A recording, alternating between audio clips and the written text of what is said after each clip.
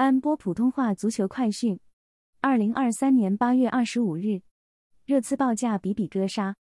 据葡萄牙媒体球报消息，热刺以总价六千万欧元报价波图前锋比比戈沙，但波图的要价达到七千五百万欧元。比比戈沙现年二十六岁，在场上主要担任左边锋。上赛季为波图出场五十五次，贡献五球和十次助攻。其中在葡超出场三十四次，贡献四球和七次助攻。球报称，热刺为比比哥沙提出的报价为四千五百万欧元基础转会费，外加一千五百万欧元的附加条款，但波图坚称球员不会以低于七千五百万欧元的价格离队。谢谢你收听安波普通话足球快讯，感谢你的支持，并订阅我们的频道。